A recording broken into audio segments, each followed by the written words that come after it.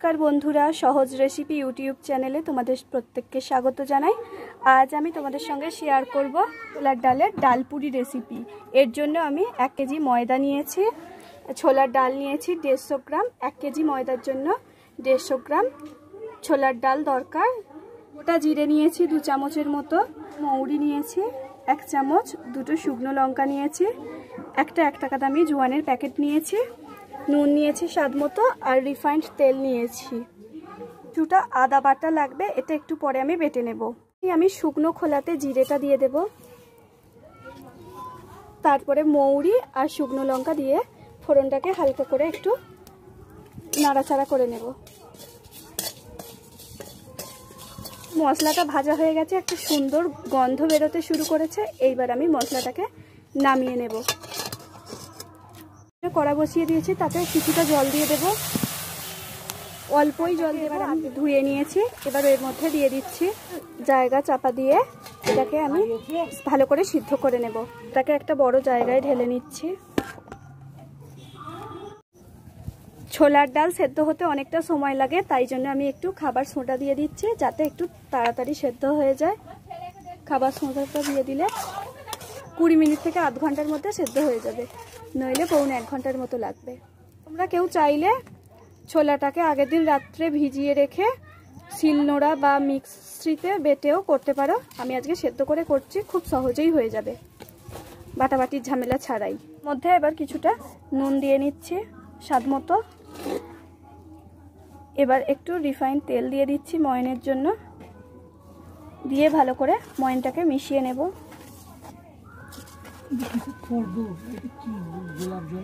করে ময়েন দিয়ে নিয়েছি, দেখো। গলা ফাঁকিয়ে যাচ্ছে। এবার জল দিয়ে ভালো করে মেখে নেব। জল দিয়ে দিচ্ছি।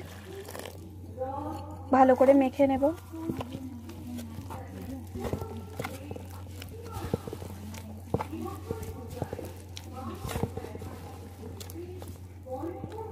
আমার জলটা শুকিয়ে গেছে, কিন্তু ডালটা এখনও সিদ্ধ হয়নি, তাই আর একটু সামান্য জল দিয়ে দেব। একটু জল দিয়ে দিচ্ছি। মশলাগুলোকে নিয়ে নিয়েছি, ভাজা মশলাগুলো।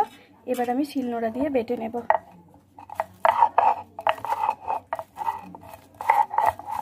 আমি ভালো করে শিলনোড়ায় বেটে নেব। একদম মিহি করে বাটবো না, একটু খাজা খাজায় রেখে দেবো।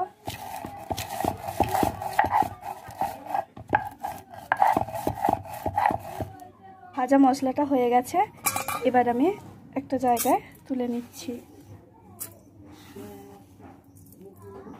এক ইঞ্চি একটা আদা আমি বেটে নেব। বন্ধুরা, আমার ছোলার ডালটা সেদ্ধ হয়ে গেছে। আর আমি সেদ্ধ করব না, হাত দিয়ে একটু চটকে নিলে আরও নরম হয়ে যাবে। এবার তুলে নিচ্ছি পুরটাকে। এবার কড়াটাকে ধুয়ে নেব। এবার আমি একটু ঠান্ডা করে নেব যাতে আমি হাত দিতে পারি। ময়দাটা আমার মাখা হয়ে গেছে। এই যে নরম করে দেখো আঙুল ঢুকে যাচ্ছে। এবার লেচিটা কেটে নেব। এরকম লেচি কাটছি, লুচির থেকে একটু বড়। এইরকম। সবগুলো কেটে নেব। কটা লেচি কেটে নিয়েছি, কুড়িটার মতো আমার লেচি হয়েছে, বেশ বড় বড়। এবার এই পুরটাকে একটু হাত দিয়ে চটকে চটকে নেব। ঠান্ডা হয়েই গেছে। ভালো করে এটাকে চটকে নিতে হবে। যেহেতু আমি শিল নোড়াই না, তাই একটু ভালো করে চটকে নিতে হবে। ছোলার ডালের পুরটাকে ভালো করে চটকে নেওয়া হয়েছে। অল্প একটু সর্ষের তেল দিয়ে দিচ্ছি। তেলটাকে গরম করে নেব। আদাটা নিয়েছি। আদাটার কিছু অংশ আমি নিয়ে কড়াতে দিয়ে দেব। আর কিছুটা আমি আলুর দম করব, তাতে ব্যবহার আদাটা দিয়ে দিচ্ছি। আদাটাকে তেলের সঙ্গে নাড়াচাড়া করে নেব। দিয়ে দেব। করে পুরটাকে নাড়াচাড়া করে নেব।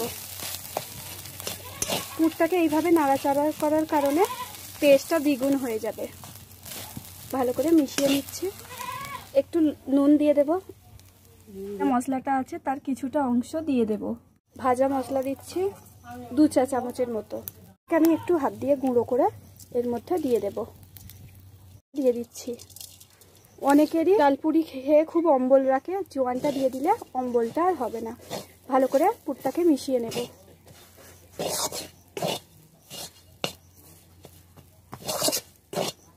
পুরটা ভালো করে কষিয়ে নেওয়া হয়ে গেছে। বেশ সুন্দর গন্ধ ছাড়ছে এবার নামিয়ে দেব। ততক্ষণে আমার পুরটা ঠান্ডা হবে এবং লুচি ফুচি বেলবো, ততক্ষণে আমি আলু নিয়ে নিয়েছি। চারটে বড় সাইজের, এই আলুগুলোকে বড় করে কেটে নিয়েছি। আলুর দম করব। দমটা চাপিয়ে দেবো। এখানে কড়াই কিছুটা জল দিয়ে দিচ্ছি। এবার আলুগুলোকে দিয়ে দেব। দিয়ে সেদ্ধ করে নেব। চাপা দিয়ে কিছুক্ষণ আমি আলুটাকে সিদ্ধ করে নেব। তা ঠান্ডা হয়ে গেছে, এবার পুরটাকে একটু মেখে নিচ্ছি যাতে সব দিকে সব রকম মশলাগুলো পড়ে। কোনো দিকে বেশি কম না হয় টেস্টটা যাতে হেরফের না হয়, তার জন্য একটু ভালো করে মেখে নিচ্ছি। আমার পুরটা সম্পূর্ণভাবে রেডি হয়ে গেছে। এবার ছোট ছোট বল বল করে একটা জায়গায় রেখে দিচ্ছি।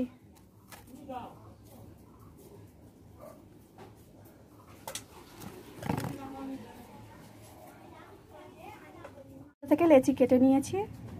কুড়িটার মতোই হয়েছে। লোকে আমি একটু হাত দিয়ে একটু পাকিয়ে পাকিয়ে নেব। এইরকমভাবে পাকিয়ে নেব। তেইশটা লুচি হয়েছে, আমি গোল গোল করে পাকিয়ে নিয়েছি। এবার এতে পুর ভরার পালা। পূর্ব ভরার জন্য একটা লেচি নিয়ে নিয়েছি, এবার এরকম খোলের মতো তৈরি করে নেব। এইভাবে তৈরি করে নিয়েছি, আর এর মধ্যে একটা এই পুর দিয়ে দিচ্ছি। দিয়ে আবার এই মুখটাকে ভালো করে বন্ধ করে দেব। পিঠের মতো। দিয়ে আবার এটাকে পাকিয়ে নেব।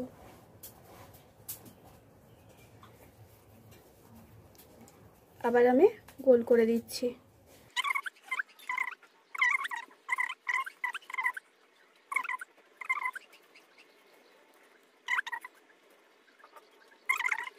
কিছুটা করে নিয়েছি, এবার আমি রিফাইন তেল দিয়ে বেলে নেব। এবার আমি রিফাইন তেল দিয়ে বেলে নেব। তেলেতে ডুবিয়ে নিচ্ছি। নিয়ে এইভাবে একটু চিপটে নিচ্ছি। এবার আমি এটাকে বেলে নেব। হালকা হাতে বেলে নিতে হবে।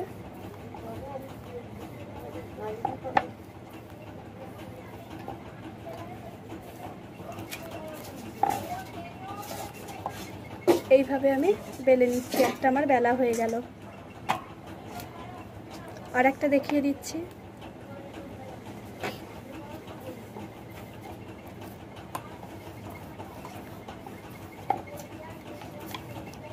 হালকা হাতে বেলতে হবে।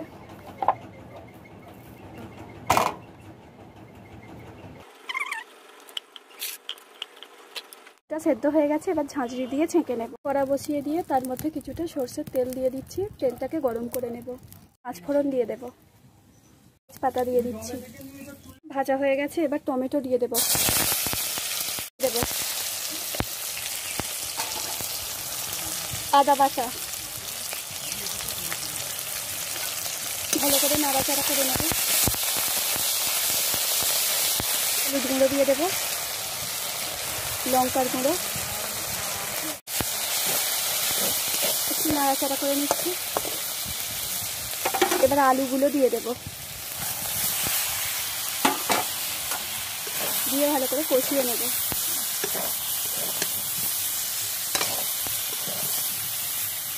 করে কষানো হয়ে গেছে, এবার জল ঢেলে দেবো। পরিমাণ মতো জল।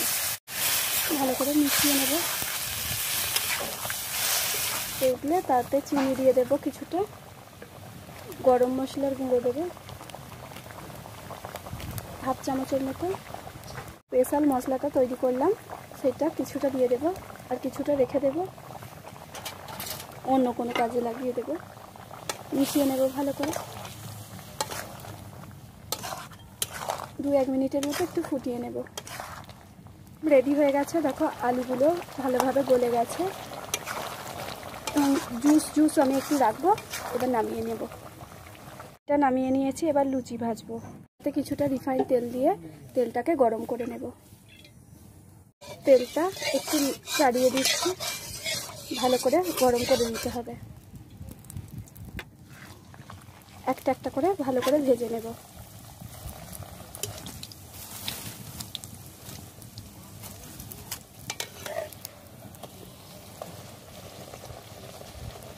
দেখো, আমার ডালপুরির ডাল কোনো দিক দিয়ে বেরিয়ে যায়নি এবং কি সুন্দর ফুলছে। ভাজা হয়ে গেছে, এবার তুলে নিয়ে অন্য আরেকটু দেবো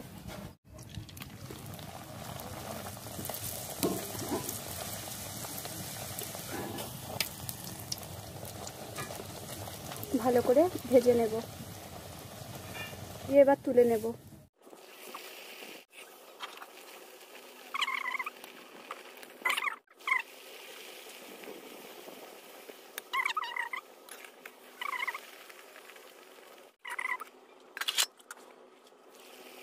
তৈরি হয়ে গেল আলুর দম, সঙ্গে ছোলার ডালের ফুলকো ফুলকো ডালপুরি আর সিমুই তৈরি করেছি। সিমুইয়ের ভিডিও আগেই আমার চ্যানেলে দেওয়া আছে। আমি ডেসক্রিপশান বক্সে তার লিংক দিয়ে দেবো। তোমরা চাইলে সিমুইটা করতেও পারো। এই রান্নার সঙ্গে সিমুই না করলেও চলবে। আর এক ধরনের আলুর দম করেছিলাম। তো ডেসক্রিপশান বক্সে তারও লিংক দিয়ে দেবো। চাইলে সেটাও দেখে নিতে। এবার আমি পরিবেশন করব। একটা জায়গায় পরিবেশন করে নিয়েছি আলুর দম। ডালপুরি, সিমুই আর রসগোল্লা। রসগোল্লাটা দোকান থেকে কেনা। রসগোল্লাও আমি বাড়িতে তৈরি করেছি। তারও লিঙ্ক ডেসক্রিপশান বক্সে দিয়ে দেবো। চাইলে দেখে এটাকে ছিঁড়ে দেখাচ্ছি।